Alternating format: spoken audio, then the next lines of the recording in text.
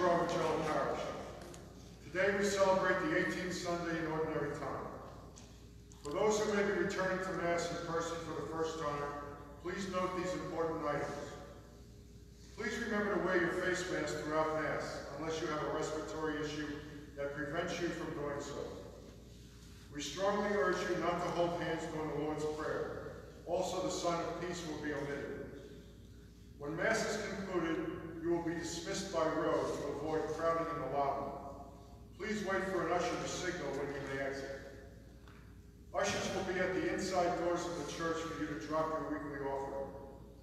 If you have an envelope for the collection box, collection being taken for our Holy Father, you can also drop it in the offering also. After you have been instructed to exit, you may either depart immediately or stop to receive Holy Communion. If you wish to receive, you will wait at the blue line on the lobby floor until it is your time to receive. Please maintain six feet between you and the person in front of you. You will need to remove your face mask and gloves in order to receive. After you have received, please proceed outside immediately. You may make your act of thanksgiving in your car or on the grounds of the church. Thank you for your attention and cooperation with these important instructions. Also, please take a moment now to silence or turn off your cell phones. Thank you. Please stand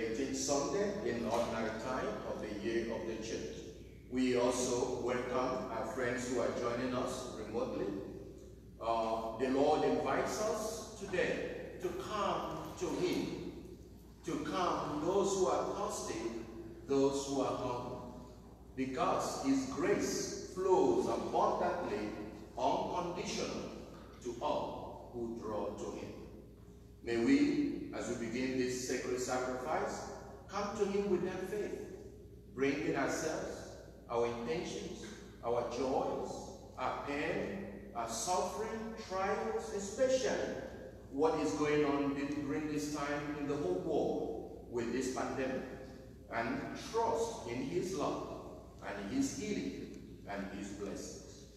My dear friends, as we begin this sacred sacrifice, let us call to mind our sins and ask God for forgiveness.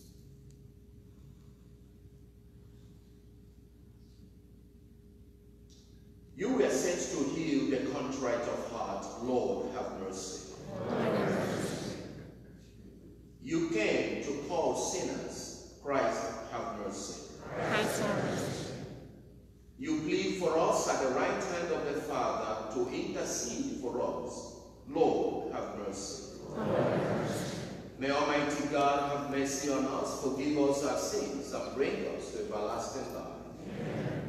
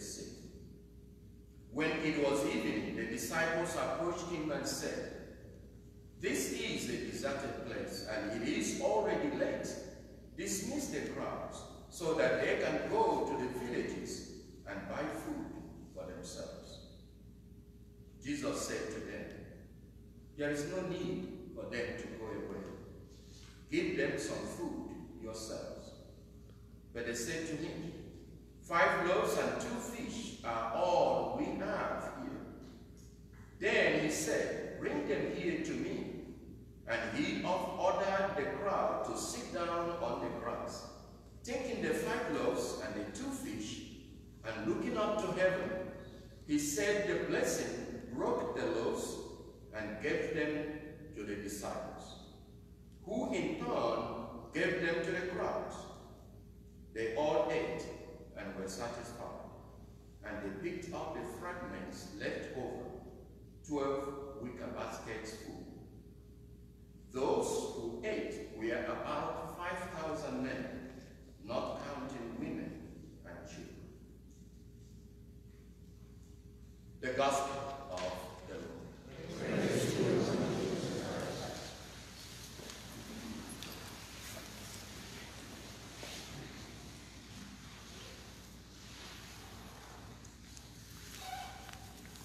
Uh, there is a, a pastor in a local church, a local community, who will always, before he gives his homily, we bow down before the altar and say some prayers before he begins. So he has a little girl, you know, and the girl always comes to church and see his dad doing this. So one day he asked his dad, Dad, why is it before you give homily you always bow down your head and then before you stand? And the dad was so happy to hear the little girl say this. Like, wow, she's she's really, you know, active and you know participating and she see what goes on. And then he explained to her, you know, baby girl, I, before I begin the homily, I always bow down my head and pray for the Holy Spirit and ask God to help me to give a good homily.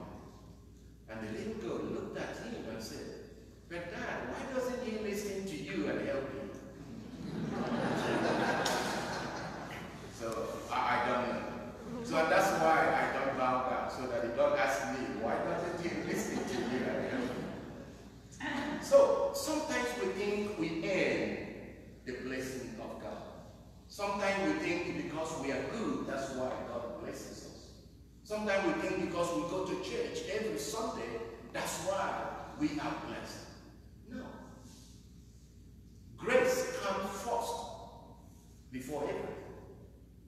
In Isaiah, you know, uh, 55, which biblical scholars call the second Isaiah, uh, because they believe that the person that, uh, uh, that wrote the first Isaiah from Isaiah 1 to 39 is a different person.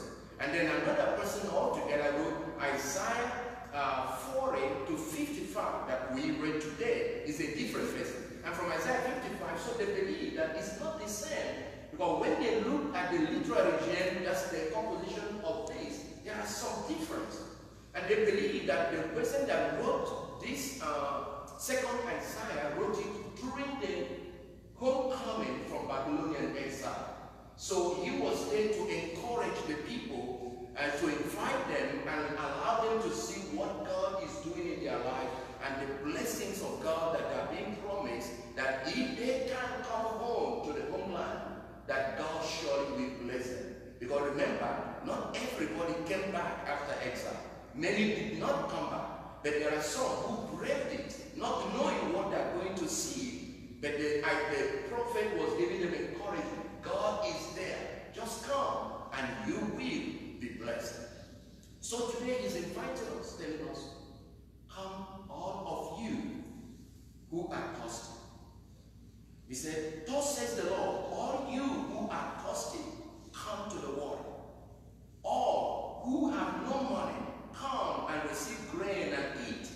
Come without paying and without cost. Drink wine and milk. So God is telling us that His blessings is not conditional to anything in our life. That all He wants us to do is to bring ourselves. You know, remember you invite somebody for lunch or dinner or breakfast, he said, come with empty stomach. That's what I want. Just be hungry. The more hungry you are, the more I am blessed. So that's what God is asking us. Just come with empty stomach. Come with hunger. Come with thirst. Come with that desire to receive. Remember when Peter and, and John healed the, the crippled man at the beautiful gate in Acts of the Apostles, the Bible said he looked at them with intent, hoping to receive something from. He didn't know what he was about to receive, but there is that hunger and desire in him to receive something. Maybe he was expecting material gifts, but then they gave him more than he even expected.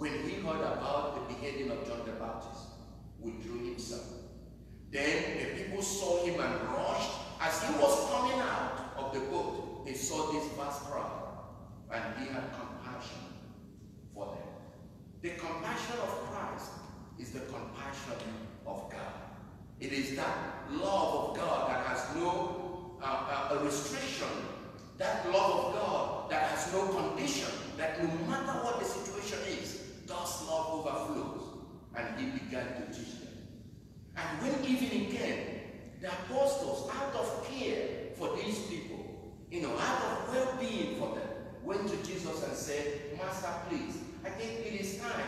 You have to allow people to go home and find something to eat. Because they will be hungry. They can faint on the way. Please, And he turned to them and said, You don't have to send them away. Give them something yourself so that they can eat. And they're like, I know they will be like, What are you talking about? This is a deserted place, and we have nothing. Only five loaves and two fish. What is it going to be for all these people? And that's when he said, Okay, ask them to sit down. Give it to me. Bring it. What you have, bring it. And he took it. He blessed it. He broke it and gave it out. Does it remind us something?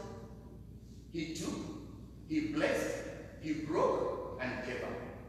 What happened on Mount Tested, on in when he instituted the Holy Eucharist? Exactly the same thing that he did. Exactly the same thing he told us. Whenever you gather, do this in memory of me. The same thing we see in Luke 24. You know, Cleopas and his friends, after the resurrection, you know, they came, in, they, he was talking to them, he joined them on the road, they didn't know who he, who, uh, he is. And he was talking to them about what was said about the Messiah.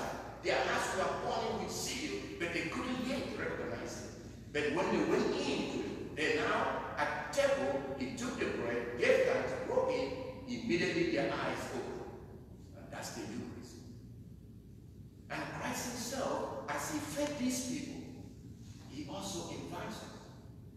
At the Eucharist, his love that is overflowing does not just give us material food, does not take care of our material need, but he also feeds us with himself in order to nourish us and to strengthen us. Remember the Bible said that in him the fullness of Godhead is, is, is pleased to dwell. So that when I receive Christ in the Eucharist, in whom the fullness of Godhead dwells, what is happening? I am receiving the Father, the Son, and the Holy Spirit. The fullness of God, the fullness of God's blessing, the fullness of God's love, the fullness of God's grace, and all that God has to offer dwells in me. And that's why we're told that in Christ, God gave us all. And there is nothing more he can give except his Son, who now in God gave us himself in the Holy Eucharist. So that all that is in him may now come to dwell in us. So that we can enjoy the fullness of Godhead that dwells in Christ in our own life. And therefore, my dear friends, in the second reading, our brother Paul told us as he wrote to the, uh, to the Romans, what can separate us from the love of Christ? What is that thing that can separate us from his love? He said, no, no matter what the situation is, his love is continuous. Even when we sin, even when we make mistakes, even when we turn away from him, he doesn't come away from us. But that same invitation is offered again and again and again. Remember, this invitation of come to me, all who are thirsty and hungry, is not just a one-time invitation. It is a daily invitation that we are invited to respond to. I, that I responded last year does not mean I don't need to respond again and again and again. As that invitation is extended again and again and again. Let's take, for example, you know, this is where Jesus is saying, Come, all of you, because he has a great banquet here of choicest wine, of nice food, you know, the best steak on earth, you know, with, uh, you know, drinks that are really nice and good. Then when we come here, everybody's invited. It doesn't matter whether you have a wedding gown or whether you are tall or short, it doesn't matter. Just come, anybody. Just present yourself. And then we come in. But then when we come into the banquet, there is a rule that everybody has to observe within the banquet. And this time around, the rule is put on your mask. And then if you have your mask, you can enjoy the meal. But if you don't have your mask, they'll say, okay, can you leave? So within that number, we can call it the church. And within that church, we enjoy all the blessings, all the goodness that God has to offer, all that is there offered in that banquet. We are free to move around and eat everything. Just like it happened in Genesis, When God gave Adam and Eve the Garden of Eden and said, everything here belongs to you. You can eat everything. But only there is a rule. Don't touch this tree. And now, I can break that rule. When I break that rule, I may need to do some uh, uh, resistation to be able to heal myself of whatever wound breaking of that rule can cause in my life. What we call venial sin. But I can also walk out of that room. I can break the law that can keep me away from that boundary. But that I walk, that is mortal sin. If I walk out of that room, I am no more within that boundary. Nobody threw me out. I threw myself out because I broke the law of the boundary. But even when I am thrown out, the door is still open. The invitation is still there. The Lord is saying, come back if you want. But then when you come back, you keep the rule. And that's why Jesus said, you be my friend if you do what I ask you to do. So yes, his blessing flows out, but it's not just blessing without responsibility. His grace is given freely, but not a grace without responsibility. We receive that grace, but we have some rules laid down that he wants us to live out, so that we maintain that grace, so that we continue to enjoy that grace. But if any time we make mistake and break away from that grace, he still opens the door, inviting us again back into the banquet as we go through the channel of the confession to get ourselves cleansed and purified and put on again the wedding gown and we're able to come in again. So God tells me, I don't merit any of His grace. That all He asked me to do to maintain the grace that He has given to me by keeping His rule of the Bible, by keeping the law of God and the law of the church. And when I do that, I remain in that. That He is blessing me not because that I'm keeping the rule, but I'm only keeping the rule so that I continue to enjoy what He has already given to me. May we ask the good Lord for that grace in our daily life. Knowing that God. And His love is extended to us anytime, in any situation, at any time. That all we have to do in faith to step forward to receive. But as we receive, we ask for His grace to keep to the roots of the Bible so that we may continue to enjoy all His graces, all His blessings, and all He has prepared for us in the Holy Eucharist. In the name of the Father, and of the Son, and of the Holy Spirit.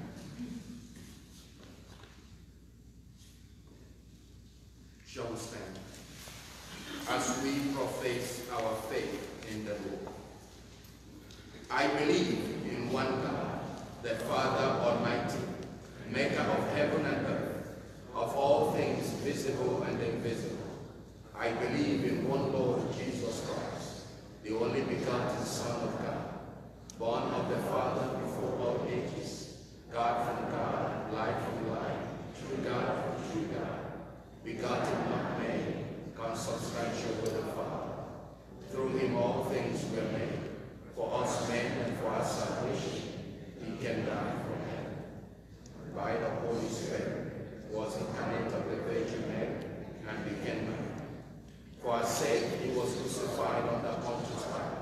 He suffered death and was buried, and rose again on the third day, in accordance with the Scriptures.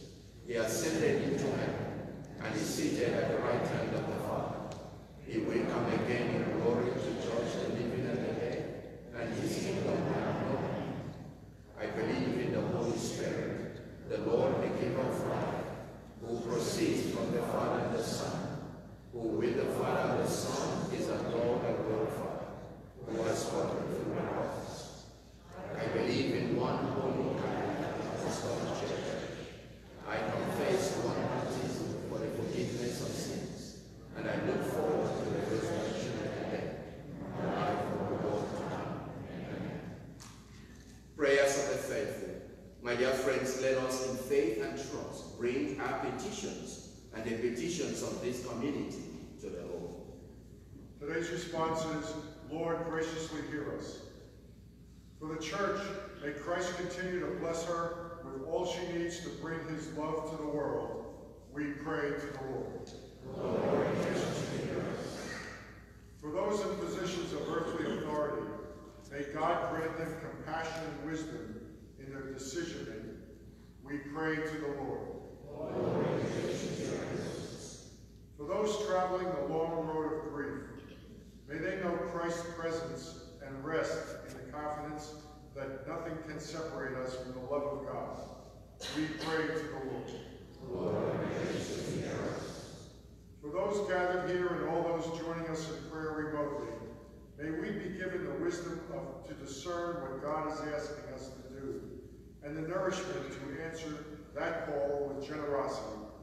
We pray to the Lord. For those who have died, may they rest in God's eternal love. We pray to the Lord.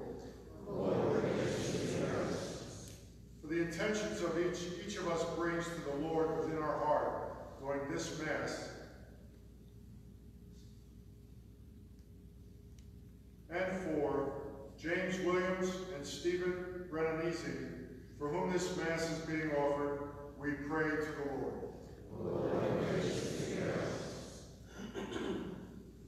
Lord, we pray through the intercession of our Blessed Mother Mary and Saint Gerard Majella. May you hear our prayers and grant our petitions through Christ our Lord. Rain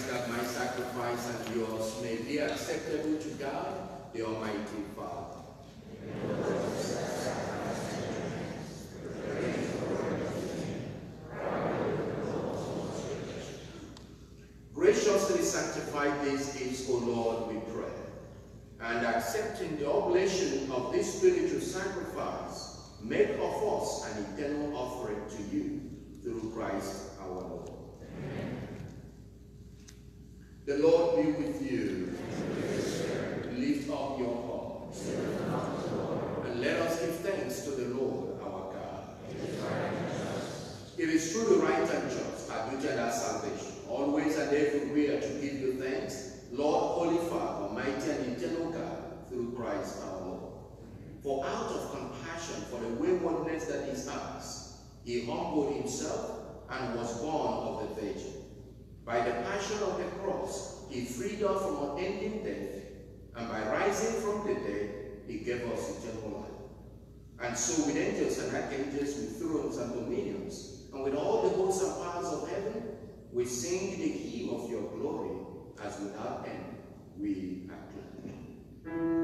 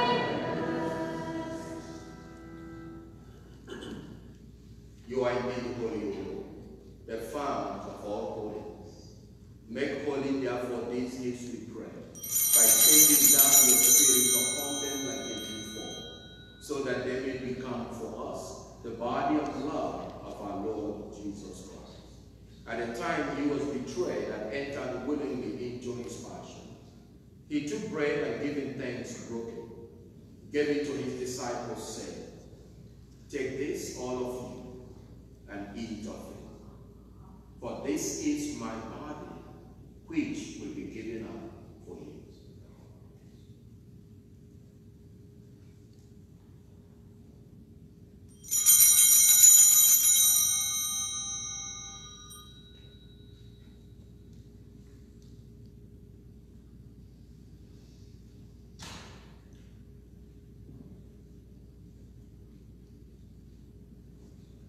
In a similar way, when supper was ended, he took the chalice.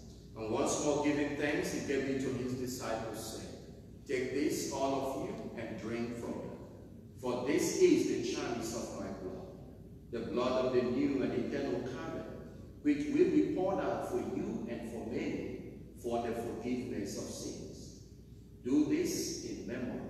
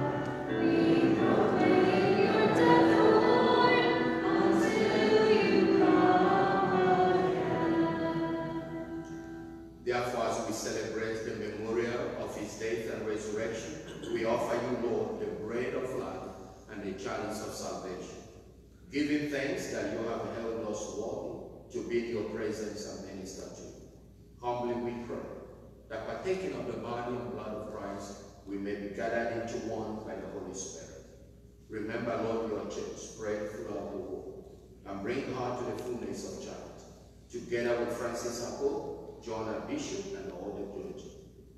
Remember also our brothers and sisters who have fallen asleep in the hope of the resurrection, and all who have died in your mercy, especially those we remember in this place. Welcome them into the light of your face. Have mercy on us all, we pray. That with the Blessed Virgin Mary, Mother of God, with Blessed Joseph her spouse, with the blessed apostles and all the saints who have pleased you throughout the ages, we may merit to co-heirs to eternal life and may praise and glorify you through your Son, Jesus Christ. Through him and with him and in him, O God Almighty Father, in the unity of the Holy Spirit. All glory and honor is yours forever and ever.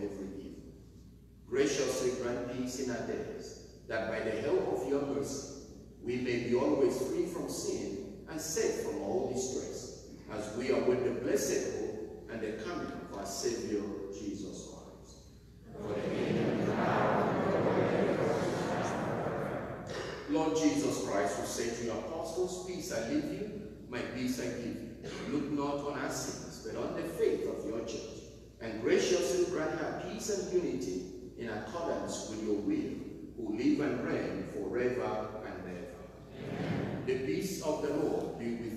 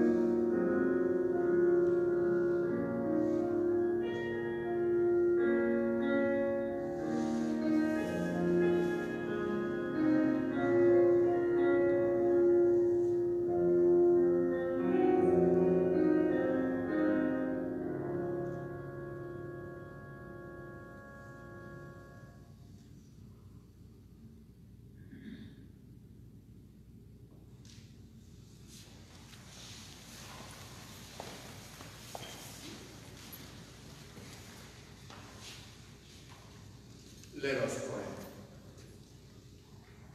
Accompanying with constant protection, O Lord, those you renew with these heavenly gifts, and in your never failing care for them, make them worthy of eternal redemption through Christ our Lord.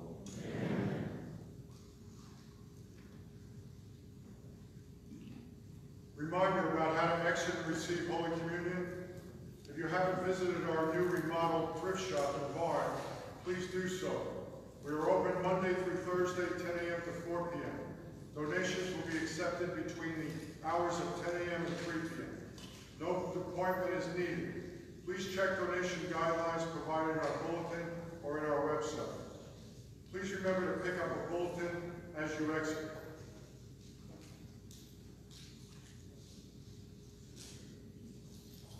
You wish to receive, you will wait at the blue line on the lobby floor until it is your time to receive. Please maintain six feet between you and the person in front of you.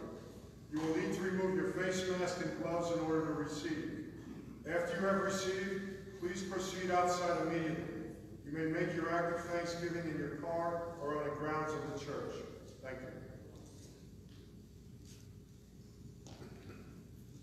you. The Lord be with you. May Almighty God bless you. In the name of the Father, and of the Son, and of the Holy Spirit. Let us go in the peace of the Lord.